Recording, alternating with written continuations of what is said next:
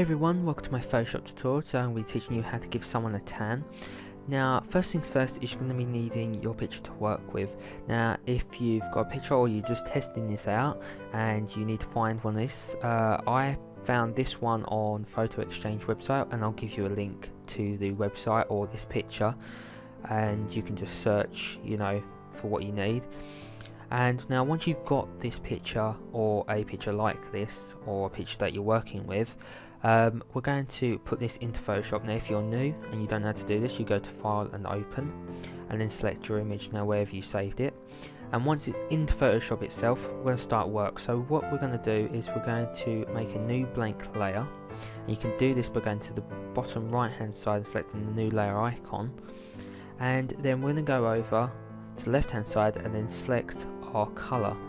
Now our color is going to be a code. It's going to put in 714B34. Now once you put that in, click OK. It's that dark brown colour. Now we're just going to select a soft brush in the drop down menu at the top. And we're just going to paint over her skin. Like that. Now I'm just going to be very quick on this, um, not paying too much attention where you can because you're going to have a lot more time doing this than me.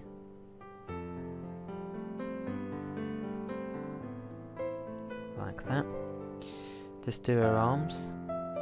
Make sure that you don't go over the uh, clothes because we don't need them tanned.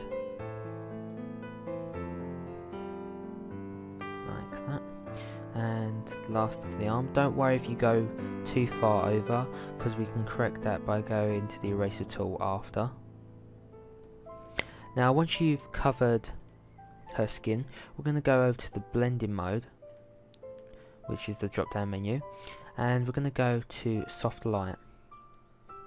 Now that's pretty good as it is.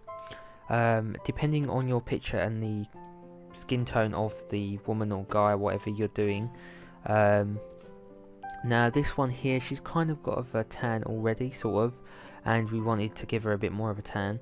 Now if you're working with someone that is totally white, you might want to put another layer on top. Now the step I'm going to show you next is for people that are totally white and you're going to need to give her a bit more of a tan. Now if I put a bit more of a tan on this woman here, she's going to look like a cheesy what's it. So just bear with me and follow this step if you have someone that is totally white you're working on. So we're going to go and duplicate that layer, bring that down to the new layer icon, and we're going to double click it, and we're going to go to color overlay. We're going to go to the drop down blending mode option, and we're going to go soft light, change the color to put in this code uh, DA9, DA9 46B. Like that and then click OK and then click OK again. Then you can bring down the opacity. I'm going to bring it down to around 30% that should be okay now as you see it's gone around the edge right here and we need to correct that. So if we turn that layer off and go to our eraser tool and we just go round her body like this and take out all of the other detail that we don't actually need then turn on that layer and then go back round.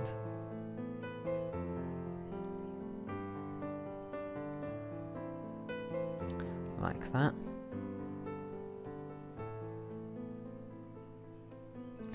Now if you want to do this, this is a good idea of doing this. Uh, we're going to bring the eraser tool brush up a bit.